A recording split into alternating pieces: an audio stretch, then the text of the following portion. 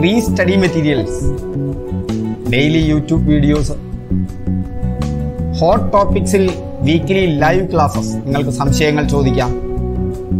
Online ക്വിസുകൾ P S C ചോദ്യങ്ങളെ അടിസ്ഥാനപ്പെടുത്തി പി എസ് സി പരീക്ഷാ മാതൃകയിലുള്ള മോക്ക് ടെസ്റ്റുകൾ ഇമ്പോർട്ടന്റ് ആയിട്ടുള്ള ചാപ്റ്റേഴ്സിന്റെ P D F notes exam അപ്ഡേറ്റുകൾ പി എസ് സി നോട്ടിഫിക്കേഷൻ കൂടാതെ കേരള പി എസ് സി എഴുതാൻ ആവശ്യമായ സ്മാർട്ട് ടിപ്സ് വെബിനാറിലൂടെ. സിലബസ് എന്താണ്? എങ്ങനെ പഠിക്കണം? എവിടെ പഠിക്കണം? എങ്ങനെയാണ് ടൈം മാനേജ് ചെയ്യുക? തുടങ്ങിയൊക്കെ ഫ്രീ ആയി ലഭിക്കുന്നതിന് ഞങ്ങളുടെ വാട്സപ്പ് ടെലിഗ്രാം ഗ്രൂപ്പുകളിൽ ജോയിൻ ചെയ്യും. ലിങ്ക് താഴെ നൽകിയിട്ടുണ്ട്. ഈ യൂട്യൂബ് വീഡിയോയുടെ താഴെ ഡിസ്ക്രിപ്ഷൻ ബോക്സിൽ ലിങ്ക് നൽകിയിട്ടുണ്ട്. വാട്സപ്പ് ഗ്രൂപ്പിലോ ടെലിഗ്രാം ഗ്രൂപ്പിലോ ആ ലിങ്ക് ഉപയോഗിച്ചുകൊണ്ട് നിങ്ങൾക്ക് ജോയിൻ ചെയ്യാം. ഒരു സ്ത്രീയെ ചൂണ്ടി ഒരാൾ പറയുകയാണ് ഇവരുടെ അച്ഛന്റെ മകൾ എന്റെ അച്ഛന്റെ ഭാര്യയുടെ സഹോദരിയാണ്. സ്ത്രീയും അയാളും തമ്മിലുള്ള ബന്ധമെന്ത്? ഇതും ഒരുപാട് തരത്തിലുള്ള ചോദ്യങ്ങൾ ചെയ്ത് ചെയ്താണ് നമ്മൾ പരിശീലിക്കേണ്ടത്. പക്ഷെ ഇതിലൊക്കെ ചില ടിപ്സ് നമുക്ക് സാധാരണ ഇത് സോൾവ് ചെയ്യാൻ ചില ടിപ്സ് നമുക്ക് നോക്കാം. ചിലർക്ക് ഇത് വളരെ എളുപ്പം കിട്ടും. എന്തായാലും നിങ്ങൾ സ്വയം ചെയ്ത് നോക്കണം വീഡിയോ പോസ് ചെയ്ത്. അതിനുശേഷം വീണ്ടും ഉത്തരം കിട്ടിയതിന് ശേഷം വീഡിയോ പ്ലേ ചെയ്ത് ചെയ്ത രീതിയും കണ്ടെത്തുന്ന രീതിയും മനസ്സിലാക്കണം. ഉത്തരം തെറ്റിയിട്ടുണ്ടെങ്കിൽ നിങ്ങളിത് വീഡിയോ മുഴുവൻ കണ്ടു കഴിഞ്ഞതിന് ശേഷം വീണ്ടും ഈ പ്രോബ്ലം എടുത്ത് സ്വയം ചെയ്തു നോക്കണം. എപ്പോ നിങ്ങൾക്ക് ഒറ്റയ്ക്ക് ചെയ്യാൻ പറ്റുമോ അപ്പൊ നിർത്തുക. അതുവരെ ചെയ്തുകൊണ്ടിരിക്കണം. ഒരു സ്ത്രീനെ ചൂണ്ടി ഒരാൾ ഇവരുടെ അച്ഛന്റെ മകൾ എന്റെ അച്ഛന്റെ ഭാര്യയുടെ സഹോദരിയാണ് സ്ത്രീയും അയാളും തമ്മിലുള്ള ബന്ധമെന്ത് ഇങ്ങനെ ബന്ധങ്ങളെ കുറിച്ച് പറയുന്ന കണക്കുകൾ ചെയ്യുമ്പോൾ നമ്മൾ ചെയ്യേണ്ടത് ആദ്യം ഈ സെന്റൻസ് രണ്ട് ഭാഗമാക്കി തിരിക്കാനോ മൂന്ന് ഭാഗമാക്കി തിരിക്കാനോ പറ്റണം എന്നുള്ളതാണ്. അപ്പൊ ഇവരുടെ അച്ഛന്റെ മകൾ ഇവരുടെ അച്ഛന്റെ മകൾ ഇതൊരു ഭാഗമാണ്. ഇതാണ് ഒരാൾ ഇവരുടെ അച്ഛന്റെ മകൾ. അടുത്ത ആൾ എന്റെ അച്ഛന്റെ ഭാര്യയുടെ എന്താണ് സഹോദരിയാണ്. ഇതാണ് രണ്ടാമത്തെ ഭാഗം. എന്റെ അച്ഛന്റെ ഭാര്യ അമ്മയോ അല്ലെങ്കിൽ രണ്ടാനമ്മയോ ആവാം. അവിടെ നമുക്ക് അങ്ങനെ തന്നെ എടുക്കാം. അമ്മയോ രണ്ടാൻ അമ്മയോ ആക്കി എടുക്കാം. അപ്പൊ എന്റെ അമ്മയുടെ സഹോദരിയാണ് എന്ന് പറഞ്ഞാലും മതി. അപ്പോ ഇവിടെ ഈ ഒരു സ്റ്റെപ്പ് ഒഴിവായി. എന്റെ അമ്മയുടെ സഹോദരിയാണ് ഇവരുടെ അച്ഛന്റെ മകൻ. ഇനി ഇത്തരം കണക്കുകൾ ചെയ്യുമ്പോൾ തലമുറകളെ മുകളിലേക്ക് കാണിക്കുക. തലമുറകളെ ഇപ്പോ മകൻ അച്ഛൻ ഇങ്ങനെ കാണിക്കുക. ഭാര്യ ഭർത്താക്കന്മാരെ ഭർത്താവും ഭാര്യയും ഇങ്ങനെ സ്പൗസുകളെ ഇങ്ങനെ രണ്ട് ആരോ ഇട്ട് കാണിക്കുക. സഹോദരങ്ങളെ ഇങ്ങനെ ഒരേ ഭാഗത്ത് നിലനിർത്തുക. ആണാണെങ്കിൽ ഇവിടെ മകൻ എന്നാണ് ഞാൻ പറഞ്ഞിട്ടുള്ളത്. അപ്പൊ മെയിൽ അച്ഛനും മെയിൽ അപ്പൊ തന്നെ എഴുതുക. ഭർത്താവാണെങ്കിൽ അതും മെയിലാണ് സ്ത്രീ ആണെങ്കിൽ അതിനെ ഫീമെയിൽ എന്ന് എഴുതുക. അങ്ങനെ സൂചിപ്പിച്ചു പോകാം. അപ്പൊ ഇവിടെ നോക്കാം. ഇവരുടെ അച്ഛന്റെ മകൾ. ആദ്യത്തെ ബന്ധം എടുക്കാം ഇവരുടെ അച്ഛന്റെ മകൾ. ആദ്യത്തെ ആൾ ഇവരാണിത്. അത് ആണാണോ പെണ്ണാണോ എന്ന് നമുക്ക് അറിയില്ല അപ്പൊ ഇവരുടെ അച്ഛന്റെ മകൾ ഇവരുടെ അച്ഛൻ. ഞാൻ പറഞ്ഞിട്ടുണ്ട് തലമുറകൾ മുകളിലേക്കാണ് പോകേണ്ടത്. അപ്പൊ അച്ഛൻ എന്ന് പറയുന്നത് മെയിലാണ്. അപ്പൊ ഇത് കണ്ടാൽ തന്നെ നമുക്കറിയാം ഇവരുടെ അച്ഛനാണ്. അവരുടെ മകൾ. അവരുടെ മകൾ എന്ന് പറയുമ്പോൾ നമുക്കറിയാം അത് ഇവരുടെ സഹോദരിയോ സഹോ സഹോദരിയായിരിക്കും അല്ലെ? ഇവിടെ ഫീമെയിൽ ആണ് മകളായതുകൊണ്ട്. അപ്പൊ ഇവരുടെ അച്ഛന്റെ മകൾ ഇവിടേക്ക് എത്തി. ഈ മകളുമായിട്ടുള്ള ബന്ധമാണ് ഇനി പറഞ്ഞിട്ടുള്ളത്. അത് എന്റെ അമ്മയുടെ സഹോദരിയാണ്. അപ്പോ സഹോദരിയിൽ നിന്ന് തുടങ്ങാം. ഇവർ സഹോദരിയാണ്. ആരുടെ? എന്റെ അമ്മയുടെ. അമ്മ മെയിൽ ഫീമെയിലാണ് ആരുടെ അമ്മ? എന്റെ അമ്മയുടെ. ആ പറയുന്ന ആളുടെ നിങ്ങളല്ല കേട്ടോ. ഇപ്പൊ ഇവിടെ നമുക്ക് ഇതറിയില്ല. ഇത് ആരാണെന്ന് അറിയില്ല? ഇത് മെയിലാണോ ഫീമെയിലാണോ എന്ന് അറിയില്ല ഇതും മെയിലാണോ ഫീമെയിലാണോ എന്ന് അറിയില്ല ഈ സ്ത്രീനെ ചൂണ്ടിയിട്ടാ പറയണത്. ഇവരുടെ അച്ഛന്റെ മകൾ. ചിലപ്പോ ഇവർ തന്നെ ആയിരിക്കാം. അതുകൊണ്ട് ഇവർ എന്താണെന്ന് അറിയാത്തതുകൊണ്ട് മെയിലാണോ ഫീമെയിലാണോ എന്ന് അറിയാത്തത് കൊണ്ട് ഇത് ചെറിയമ്മയാണോ അതല്ലെങ്കിൽ ഇനിയിപ്പോ ഇവിടെ നോക്കൂ ബന്ധം എന്താ വരിക? ഇവരുടെ ഇയാളുടെ ഇയാളും ഇതും തമ്മിലുള്ള ബന്ധമാണ് ചോദിച്ചിട്ടുള്ളത്. ഇവരൊക്കെ സിബ്ലിങ്സ് ആണ്. എന്ന് പറഞ്ഞാൽ സഹോദരി സഹോദരന്മാരാണ് അല്ലെ? ഇത് ഫീമെയിലാണ് അമ്മയാണ്. അമ്മയുടെ ഒരു സഹോദരിയാണിത്. ചിലപ്പോൾ അവരെന്നെ ആയിരിക്കും ഇവരുടെ അച്ഛന്റെ മകൾ എന്ന് പറഞ്ഞാൽ ഇവരെന്നെ ആയിരിക്കാം അതല്ലെങ്കിൽ വേറൊരാളായിരിക്കാം. എന്തായാലും ഇത് ഇവരുടെ സഹോദരിയാണ്. പക്ഷെ ഇത് സഹോദരനാണോ സഹോദരിയാണോ എന്ന് അറിയുന്നില്ല അപ്പോ ഇയാളും ഇവരും തമ്മിലുള്ള ബന്ധം പറയാൻ ഒന്നില്ലെങ്കിൽ അമ്മയുടെ സഹോദരി അല്ലെങ്കിൽ അമ്മയുടെ സഹോദരൻ. ഇത് ഏരാ ആരാണെന്ന് കണ്ടുപിടിക്കാൻ പറ്റില്ല. അതുകൊണ്ട് അമ്മാമനാണോ ചെറിയമ്മയാണോ എന്ന് കണ്ടുപിടിക്കാൻ കഴിയില്ല. അതുകൊണ്ട് ഇവിടെ ആൻസർ കണ്ടുപിടിക്കാൻ കഴിയില്ല എന്നുള്ളതാണ് കാരണം ഇവിടെ മെയിലാണോ ഫീമെയിലാണോ എന്ന് പറഞ്ഞിട്ടില്ല. ഇവരുടെ എന്ന് പറഞ്ഞുകൊണ്ടത് മെയിലാണോ ഫീമെയിലാണോ എന്ന് അറിയില്ല. അപ്പൊ അതാ ഇവരുടെ എന്ന് പറയുമ്പോൾ തന്നെ നമ്മൾ നോക്കുക. അവിടെ മെയിലാണോ ഫീമെയിലാണോ എന്ന് അറിയില്ലെങ്കിൽ നമുക്ക് അവിടെ രണ്ട് ബന്ധങ്ങൾ വരാം. ആണാണെങ്കിൽ ഒരു ബന്ധം പെണ്ണാണെങ്കിൽ വേറൊരു ബന്ധം. അറിഞ്ഞോ? പത്താം ക്ലാസ് യോഗ്യതയുള്ള വിവിധ തസ്തികകളിലേക്കായി ടെൻത്ത് പ്രിലിംസ് പരീക്ഷ വരുന്നു രണ്ടായിരത്തി ഇരുപത്തിനാല് ഡിസംബർ ഇരുപത്തിയെട്ടിന് ആദ്യഘട്ടം. മറ്റു ഘട്ടങ്ങൾ രണ്ടായിരത്തി ഇരുപത്തിയഞ്ച് ജനുവരിയിലും സെക്രട്ടേറിയറ്റിൽ ഓഫീസ് അറ്റൻഡന്റ് മറ്റു വകുപ്പുകളിൽ laboratory assistant store keeper assistant keeper കാർഷിക ഗ്രാമ വികസന ബാങ്കിൽ പ്യൂൺ തുടങ്ങിയ വിവിധ തസ്തികകളിലേക്ക് ഒരൊറ്റ പരീക്ഷയായി വിവിധ ഘട്ടങ്ങളിലായാണ് ഈ പരീക്ഷ നടത്തുന്നത്. ഈ പരീക്ഷ ക്രാക്ക് ചെയ്യാനുള്ള വിജയമന്ത്രം എന്താണ്? എന്താണ് അതിന്റെ ടോപ്പ് സീക്രട്ട് ഒന്ന് സിലബസ് അറിഞ്ഞിരിക്കണം. ആ സിലബസ് പ്രകാരമുള്ള ചോദ്യങ്ങൾ ഏത് സോഴ്സിൽ നിന്നാണ് വരുന്നത് എന്നറിഞ്ഞിരിക്കണം. ഇവിടെ അത് മുൻകാല ചോദ്യങ്ങളും എസ് സി ആർ ടി പാഠഭാഗവുമാണ്. രണ്ട് ദിവസേനയുള്ള ഒരു ലേണിംഗ് പ്ലാൻ വേണം.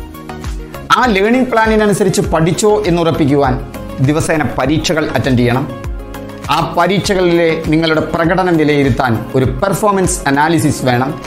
ആ പെർഫോമൻസ് അനാലിസിസിനനുസരിച്ച് നിങ്ങളുടെ പഠനം പുനഃക്രമീകരിക്കണം. മൂന്ന് മോക്ക് എക്സാമുകൾ ചെയ്തിരിക്കണം.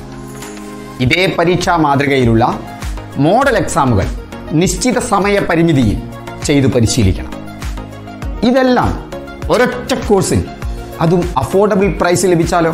രണ്ടായിരം മുതൽ ഇതുവരെ പി എസ് സി ചോദിച്ച ടെൻത്ത് പ്രിലിംസ് പരീക്ഷയിലെ മുഴുവൻ ചോദ്യങ്ങളും അവയുടെ വിശദീകരണവും S C R T connected ഫാക്ട്സും conceptual ക്ലാരിറ്റിയോടുകൂടി ലളിതമായി വിശദീകരിക്കുന്ന വീഡിയോ ക്ലാസുകൾ പി ഡി എഫ് നോട്ടുകൾ ഈ പാഠഭാഗങ്ങളും വീഡിയോ ക്ലാസുകളും മൊഡ്യൂളുകളിലായി ക്രമീകരിച്ചുകൊണ്ടുള്ള daily learning plan daily learning പ്ലാനിനനുസരിച്ചുള്ള daily exams ആ എക്സാംസിലെ നിങ്ങളുടെ പെർഫോമൻസ് അനാലിസിസ് ഇത് കൂടാതെ നൂറിലധികം മോക്ക് ടെസ്റ്റുകൾ ഇതെല്ലാം ഒരൊറ്റ കോഴ്സിൽ അതും അഫോർഡബിൾ പ്രൈസിൽ നാനൂറ്റി തൊണ്ണൂറ്റി ഒൻപത് രൂപയ്ക്ക്. മാത്രമല്ല നിങ്ങളെ കാത്ത് ഒരു സർപ്രൈസ് ഗിഫ്റ്റ് കൂടിയുണ്ട് ഇതിന് താഴെയുള്ള ഡിസ്ക്രിപ്ഷൻ ബോക്സിലെ ലിങ്കിൽ ക്ലിക്ക് ചെയ്യൂ.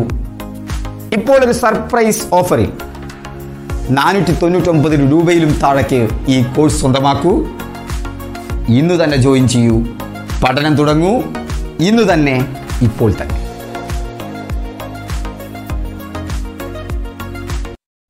അടുത്തത് നമുക്ക് നോക്കാം. ഇവിടെ ആറ് പൂജ്യം ആറ് ഇരുപത്തിനാല് അറുപത് നൂറ്റി ഇരുപത് മുന്നൂറ്റി മുപ്പത്തി ആറ് വിട്ടുപോയത് ഏതാണ് എന്നാണ് ചോദ്യം.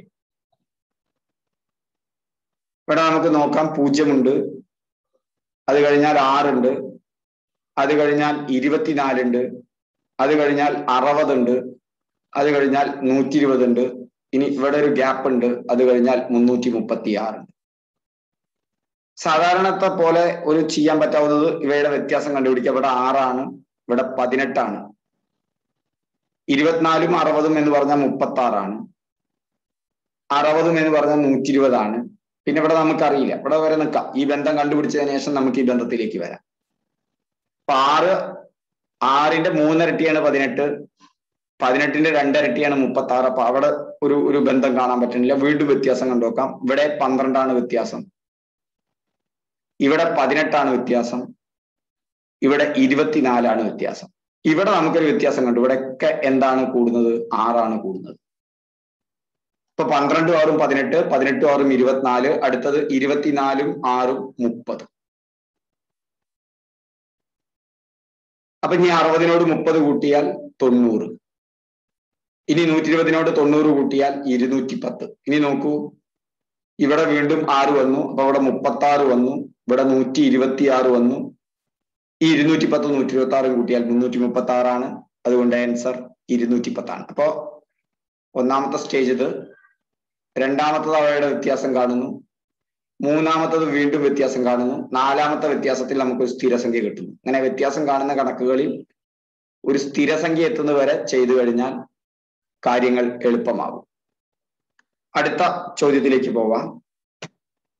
A B C D E F എന്നിവർ വട്ടത്തിൽ നിൽക്കുന്നു. ബി എഫ് എൻ സിയുടെ ഇടയിൽ എ ഇ എൻ ഡിയുടെ ഇടയിൽ എഫ് ഡിയുടെ ഇടത്തായി നിൽക്കുന്നു.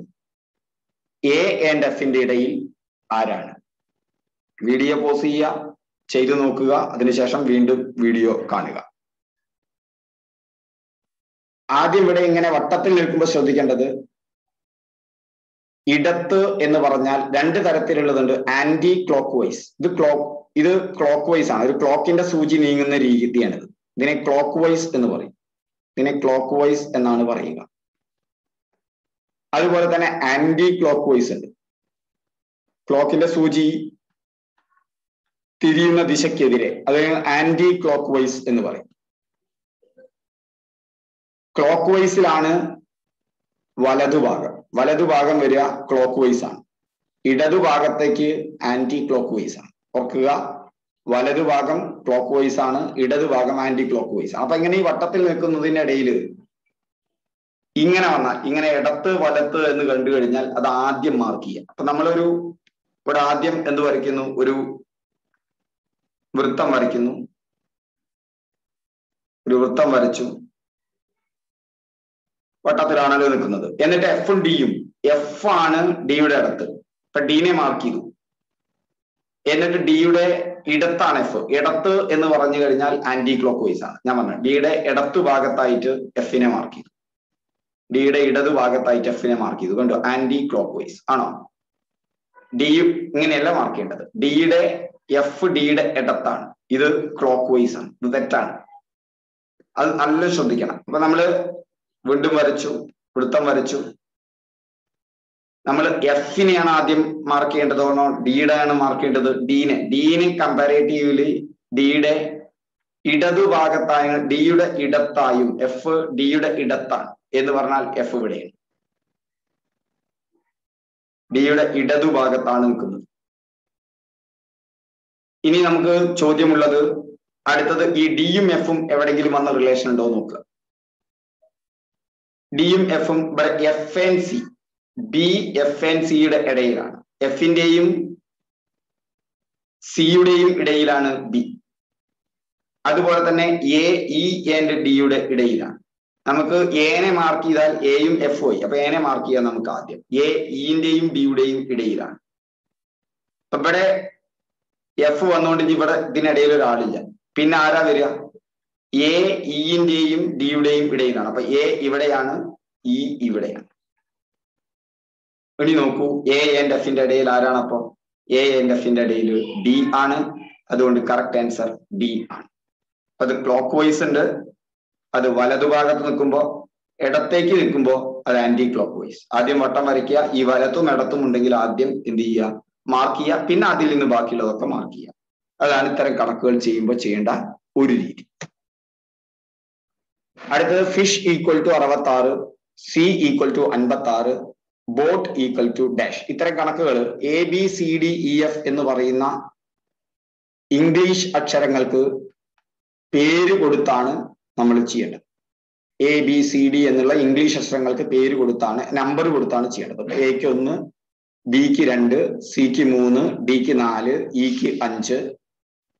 അങ്ങനെ സെറ്റ് വരെത്തുമ്പോൾ ഇരുപത്തി ആറാവും നേരെ തിരിച്ചും ചെയ്യാറുണ്ട്. സെറ്റിന് ഒന്ന് വൈക്ക് രണ്ട് എക്സിന് മൂന്ന് എ എത്തുമ്പോൾ അത് ഇരുപത്തി ആറാവും ബി ഇരുപത്തഞ്ച് അങ്ങനെയും ചെയ്യാറുണ്ട്.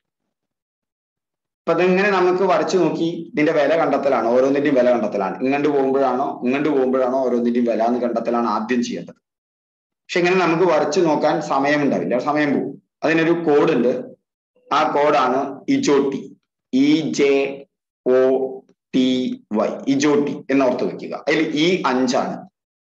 ജെ പത്താണ് ഒ പതിനഞ്ചാണ് ടി ഇരുപതാണ് വൈ ഇരുപത്തി അഞ്ചാണ് എങ്ങനെ എയിൽ നിന്നും സെഡിലേക്ക് ക്രമമായി പോകുമ്പോൾ. എന്നാൽ എ ഇരുപത്തിയാറും സെഡ് ഒന്നുമായിട്ട് എടുക്കുമ്പോൾ ഇവിടുത്തെ വില ഇന്ന് കാണണമല്ലോ. അതിന് വളരെ എളുപ്പമാണ്. നിങ്ങൾ ഇത്ര ആലോചിച്ചാൽ മതി. ഇങ്ങനെ കണ്ടെത്തുക. ഇങ്ങനെ കണ്ടെത്തിയിട്ട് എന്ത് കൂട്ടിയാലാണ് ഇരുപത്തിയേഴ് കിട്ടുക എന്ന് വിചാരിക്കുക. അതായിരിക്കും. ഇപ്പൊ ഈയോട് എന്ത് കൂട്ടിയാലാണ് ഇരുപത്തിയേഴ് കിട്ടുക?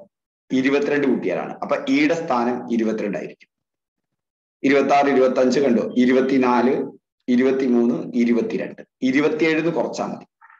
ഓടെ സ്ഥാനം ഇവിടെ നോക്കുമ്പോൾ ഇവിടെ ഇരുപത്തിയേഴാണ്. അപ്പൊ ഓടെ സ്ഥാനം പന്ത്രണ്ട് കൂട്ടിയ. പതിനഞ്ചിനോട് പന്ത്രണ്ട് കൂട്ടിയാണ്. അപ്പൊ തിരിച്ചു വരുമ്പോ കിട്ടേണ്ടത് നമ്മൾ ഇങ്ങനെയുള്ള നമ്പർ കണ്ടുപിടിച്ചിട്ട് അതിനോട് എന്ത് കൂട്ടിയാലാണ് ഇരുപത്തിയേഴ് കാണുക? അതായിരിക്കും അവിടെ ആ സംഖ്യ. അപ്പൊ അവിടെ ഫിഷ് എടുക്കുമ്പോൾ ഫിഷ് നിങ്ങൾ ഈ ഓർഡറിൽ ചെയ്താൽ നിങ്ങൾക്ക് ഈ വില കിട്ടില്ല. നേരെ തിരിച്ച് സെഡിൽ നിന്ന് ഒന്ന് കൊടുത്തിട്ട് എയിലേക്ക് കൊടുക്കുമ്പോൾ എഫിന്റെ വില എന്തിനാ നോക്കുക? എഫിന്റെ വില കാണാൻ ഇജോട്ടി നോക്കിയാൽ മതി. ഇജോട്ടിയിൽ ഇ അഞ്ചാണ്. അപ്പൊ എഫ് ആറാവും. അപ്പൊ നേരെ തിരിച്ചായതുകൊണ്ട് എന്ത് കൂട്ടിയാൽ ഇരുപത്തിയേഴ് കിട്ടും? ഇരുപത്തൊന്ന് കൂട്ടിയാൽ കിട്ടും. അടുത്തത് ഐ ആണ്. ഐ എന്ന് പറഞ്ഞാൽ ഐ ജെ ജെയുടെ തൊട്ട് മുമ്പാണ്. അപ്പൊ ഐ ഒമ്പതാണ്. ഒൻപതിനോട് ഇരുപത്തിയേഴ് കിട്ടണമെങ്കിൽ എന്ത് കൂട്ടണം? പതിനെട്ട് കൂട്ടണം. ഇനി അടുത്തത് എസ് ആണ്.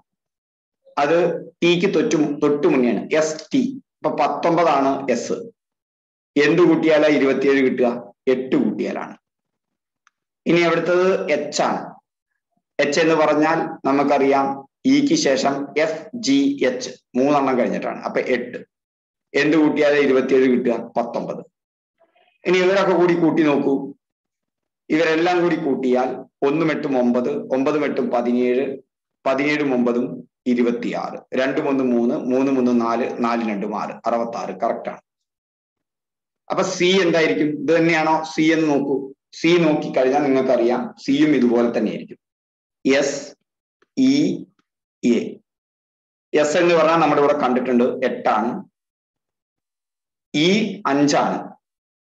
ഈ അഞ്ചായതുകൊണ്ട് നേരെ തിരിച്ചെത്തുമ്പോൾ ഇരുപത്തിരണ്ടാണ്. എ നമുക്കറിയാം എന്താണ്? ഇരുപത്തി ആറാണ് ഇത് രണ്ടും തമ്മിൽ കൂട്ടുമ്പോൾ എട്ടും രണ്ടും പത്തും ആറും പതിനാറ് രണ്ടും ഒന്നും മൂന്നും രണ്ടും അഞ്ച് അമ്പത്തി ആറ് ശരിയാണ്. അപ്പൊ ഇനി ബോട്ടിന് കറക്റ്റ് ആയിരിക്കും. ബി ഒ എ ടി നമ്മൾ ഈ കണ്ടതിൽ എ നമുക്കറിയാം ഇരുപത്തി ആറാണ് ബി അതിന് തൊട്ടു മുന്നിലാണ് ഇരുപത്തി അഞ്ചാണ് ഈ ഒയും ടിയും കണ്ടാൽ മതി നമ്മൾ. നമുക്കറിയാം ഒ പതിനഞ്ചാണ്. അപ്പോ നേരെ തിരിച്ചു വരുമ്പോ പന്ത്രണ്ടാണ്.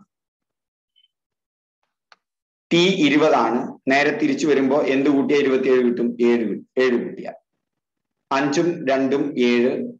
ഏഴും ആറും പതിമൂന്നും ഏഴും ഇരുപത്. രണ്ട് രണ്ട് നാല് നാല് രണ്ടും ആറ്. ആറും ഒന്നും ഏഴ്. നമുക്ക് ഏഴ് ആറും പതിമൂന്ന് രണ്ടും പതിനഞ്ച് അഞ്ചും ഇരുപത് നാല് അഞ്ച് അഞ്ചും രണ്ടും ഏഴ്. സോ കറക്റ്റ് ആൻസർ സെവന്റി ആണ് ഇവിടെ. അടുത്തത് എ എന്നത് ബിയുടെ അമ്മയാണ്. ബിയുടെ മകളാണ് സി സിയുടെ ഭർത്താവാണ്. എയുടെ ഭർത്താവ് ജിയും ബി എയുടെ സഹോദരിയും ആയാൽ ജിയും ഡിയും തമ്മിലുള്ള ബന്ധമാണ് ചോദിച്ചിട്ടുള്ളത്. ആരൊക്കെ തമ്മിലുള്ള ബന്ധം? ജിയും ഈ ഡിയും തമ്മിലുള്ള ബന്ധമാണ് ചോദിച്ചിട്ടുള്ളത്. അപ്പൊ നമുക്കിവിടെ അച്ഛനമ്മ എന്നുള്ള രീതിയിൽ തന്നെ എടുക്കാം. എ എന്നത് എ ഇവിടെ എ എന്ന് പറയുന്നത് ആരുടെ അമ്മയാണ്? ഡിയുടെ അമ്മയാണ്. അപ്പോ ഇത് ഡി ആണ്. എ എന്നത് അമ്മയായതുകൊണ്ട് ഇവിടെ ഫീമെയിൽ ആണ്. ഡി ആരാണെന്ന് പറഞ്ഞിട്ടില്ലേ? ഡി ആണാണോ പെണ്ണാണോ നമുക്കറിയില്ല. ബിയുടെ മകളാണ് സി. ഇനി നമുക്ക് ഡീനെ നോക്കണം. ഇവിടെ എവിടെ ഡി ഉണ്ടോ അത് കംപ്ലീറ്റ് ആക്കലാണ് അടുത്തത് പരിപാടി. അല്ലെങ്കിൽ എ ഉള്ളടത്ത്. എയുടെ ഭർത്താവ് ജി ആണ്. അത് അവിടെ പറഞ്ഞിട്ടുണ്ട്. എയുടെ ഭർത്താവാണ് ജി. ഇതിലുള്ള ഏതെങ്കിലും ഒന്നുമായിട്ടുള്ള ബന്ധം പിടിക്കാൻ അടുത്തത്. എയുടെ ഭർത്താവ് ജി ഞാൻ പറഞ്ഞിട്ടുണ്ട്. സ്പൗസുകളെ കാണിക്കേണ്ടത് ഇങ്ങനെ രണ്ട് ആരോട്ടാണ് എയുടെ ഭർത്താവാണ് ജി. അപ്പോ ജി എന്ന് പറയുന്നത് മെയിലാണ് ഇനി നമുക്ക് എയോ ഡിയോ ജിയോ ഉള്ള ബന്ധം കാണുക. എയുടെ ബി എയുടെ സഹോദരിയാണ്. ഇവിടെ അങ്ങനെ പറയണം. ബി എയുടെ സഹോദരിയാണ്. ഇപ്പോ ബി എന്ന് പറയുന്നത് ബി എയുടെ സഹോദരിയാണ്. അപ്പൊ ബിയും ഫീമെയിലാണ് സഹോദരിയാണ്. ഇപ്പോ നമുക്ക് ഇത് കഴിഞ്ഞു. ഇത് കഴിഞ്ഞു. ഇനി സിയുടെ ഭർത്താവാണ് എഫ് ഇവിടെ എഫ് തന്നിട്ടില്ല. പക്ഷെ ബിയുടെ മകളാണ് സി ബിയുടെ മകളാണ് സി ഇപ്പൊ ഇവിടെ സി എന്ന് പറയുന്നത് ഫീമെയിലാണ് മകളാണ്. അപ്പൊ അതും കഴിഞ്ഞു. ബിയുടെ മകളാണ് സി എന്നുള്ളത് കഴിഞ്ഞു. സിയുടെ ഭർത്താവാണ് എഫ് സിയുടെ ഭർത്താവാണ് എഫ് എഫ് എന്ന് പറയുന്നത് സിയുടെ ഭർത്താവാണ്. അപ്പൊ എല്ലാം മാർക്ക് ചെയ്തു. ഇതും മെയിലാണ് സിയുടെ ഭർത്താവാണ്. ഇനി ജിയും ഡിയും തമ്മിലുള്ള ബന്ധമാണ്. ജി ഇതാണ് ഡി ഇവിടെയാണ്. അപ്പോ ജിയും ഡിയും തമ്മിലുള്ള ബന്ധം. നമുക്കറിയാം ഇവിടെ ജി എന്ന് പറഞ്ഞാൽ ഫീമെയിൽ ആണ്. അത് ഡിയുടെ അച്ഛനാണിത്. അല്ല ജി എന്ന് പറഞ്ഞാൽ മെയിലാണ് ഡിയുടെ അമ്മയാണിത്. ഇത് അമ്മയാണ്. ഇവർ സ്പൈസ് ആയതുകൊണ്ട് ഇത് അച്ഛനാണ്. അപ്പോ ഡിയുടെ ആരാണിവർ? ഡിയുടെ അച്ഛനാണ്. ജി എന്ന് പറയുന്നത്. അതുകൊണ്ട് ഇവിടെ കറക്റ്റ് ആൻസർ ജി ആണ്. ഇനി ഇത് വളരെ എളുപ്പത്തിൽ നമുക്കൊന്ന് ചെയ്തു നോക്കാം. ഞാൻ മുഴുവൻ ബന്ധങ്ങളും എസ്റ്റാബ്ലിഷ് ചെയ്യുന്നതും വേണ്ട. നമുക്ക് എങ്ങനെയാണ് ഇതിനെ വളരെ എളുപ്പത്തിൽ ചെയ്യുക എന്നുള്ളത് നമുക്ക് നോക്കാം. ഇവിടെ നമുക്ക് ജിയും ഡിയും തമ്മിലുള്ള ബന്ധമാണ് കാണേണ്ടത്. എവിടൊക്കെ ജി ഉണ്ട് നോക്കുക. എവിടെ ജി ഉള്ളത്? ഇവിടെ എയുടെ ഭർത്താവാണ് ജി. എയുടെ ഭർത്താവാണ് ജി. അപ്പൊ എ എഴുതി എയുടെ ഭർത്താവാണ് ജി എന്ന് എഴുതി കഴിഞ്ഞാൽ നമുക്കിത് ജി എന്തായി കിട്ടി? ഫീമെയിൽ ആണ് അല്ല മെയിലാണ് ഭർത്താവാണല്ലോ. അപ്പൊ എ ഭാര്യയായിരിക്കും എയുടെ ഭർത്താവ്. അപ്പൊ അത് ഫീമെയിലുമാണ് ഈ ഡി എവിടെയുള്ളത്? എ എന്നത് ഡിയുടെ അമ്മയാണ്. അവിടെ ഇല്ല. അപ്പൊ നമുക്ക് ജീനെ ഇനി എവിടെയൊക്കെ കാണാം എന്നുള്ളത് നമുക്ക് നോക്കാം. അല്ലെങ്കിൽ ജിയോ ഡിയോ എവിടെ ഉണ്ട് ഇനി ഇവിടെ നോക്കിയാൽ ഇവിടെ ജി ഉണ്ട്. പിന്നെ അടുത്തത് നോക്കൂ ജിയോ എയോ ആണ് നോക്കേണ്ടത്. അതിൽ ജിയും എയും മാർക്ക് ചെയ്തിട്ടുണ്ട് എ എന്നത് ഡിയുടെ അമ്മയാണ്. എ എന്നത് ആരുടെ അമ്മയാണ്? ഡിയുടെ അമ്മയാണ്. അതവിടെ മാർക്ക് ചെയ്യാൻ നിൽക്കേണ്ട. അതിന് മുമ്പ് നിങ്ങൾ നോക്കേണ്ടത് എയോ ജിയോയിൽ ജി വരുന്നത് എവിടെ ഉണ്ട് എന്നുള്ളതാണ് നോക്കേണ്ടത്. ജി ഇവിടെ മാത്രമേ വരുന്നുള്ളൂ. പിന്നെ എ വരുന്നത് ഇവിടെ തന്നെയാണ്. അപ്പൊ എന്ന് ഇവിടുന്നേ കിട്ടും ചിലപ്പോൾ ഇവിടെയൊക്കെ വേറെ ഏതെങ്കിലും ജിയുമായിട്ട് ബന്ധമുണ്ടെങ്കിൽ അതുടൻ നമ്മൾ എന്ത് ചെയ്യണം? അവിടെ രേഖപ്പെടുത്തണം. എ എന്നത് ഡിയുടെ അമ്മയാണ്. എ എന്ന് പറഞ്ഞാൽ ആരുടെ അമ്മയാണ്? ഡിയുടെ അമ്മയാണ്. ഇവിടെ ഡി എന്താണെന്ന് പറഞ്ഞിട്ടില്ല. ഇനി നമ്മൾക്ക് ഇപ്പൊ ജിയും ഡിയും കിട്ടി. കിട്ടുമോ ഇവിടെ ജിയും ഡിയും തമ്മിലുള്ള ബന്ധം. നേരെ തിരിച്ചു കിട്ടിയപ്പോ ഡിയുടെ അമ്മയാണ് ഇവർ. അപ്പോ ആ അമ്മയുടെ ഭർത്താവ് എന്ന് പറഞ്ഞാൽ ഡിയുടെ അച്ഛനാണ് ഈ രണ്ടെണ്ണത്ത് കിട്ടി. ബാക്കിയുള്ളതൊന്നും നമുക്കിവിടെ ആവശ്യമുള്ള കാര്യമേ അല്ല. ഓക്കെ. ക്ലിയർ ആയല്ലോ. അപ്പൊ ഇങ്ങനെ നമ്മൾ വളരെ പെട്ടെന്ന് നമുക്ക് കണ്ടെത്താൻ പറ്റും. ഓക്കെ ഇനി നമുക്ക് അടുത്ത ക്ലാസ് ഇംഗ്ലീഷ് ആണ്. നന്നായി പഠിക്കുക. ഇനി നമുക്ക് ഇംഗ്ലീഷ് കഴിഞ്ഞാൽ മലയാളം കൂടി ഉണ്ട്. അത് കഴിഞ്ഞാൽ ഈ ക്വസ്റ്റ്യൻ പേപ്പർ കഴിഞ്ഞു. അത് കഴിഞ്ഞാൽ നമ്മൾ ഈ രണ്ടായിരത്തി ഇരുപത്തി ഒന്നിലെ ഒരു പ്രിലിമിനറി എക്സാം ചെയ്യും. അത് കഴിഞ്ഞാൽ വീണ്ടും രണ്ടായിരത്തി പതിനേഴിലെ ഒരു ക്വസ്റ്റ്യൻ പേപ്പർ ചെയ്യും. എന്തുകൊണ്ട് രണ്ടായിരത്തി പതിനേഴിലെ ക്വസ്റ്റ്യൻ പേപ്പർ ചെയ്യുന്നു അതിലാണ് മലയാളവും ഇംഗ്ലീഷും ഒക്കെ ധാരാളമുള്ളത്. മറ്റോടത്ത് നമുക്കറിയാം മാത്സ് മാത്രമേ ഉള്ളൂ. തുടക്കക്കാർക്കുള്ളതാണ് സ്ഥിരമായി കാണുക നിങ്ങളുടെ കമന്റുകൾ രേഖപ്പെടുത്തുക. നിങ്ങൾക്ക് ഏതെങ്കിലും സംശയങ്ങൾ ഉണ്ടെങ്കിൽ ഇതിന്റെ കമന്റിന് താഴെയായിട്ട് ചേർക്കുക. Okay thank you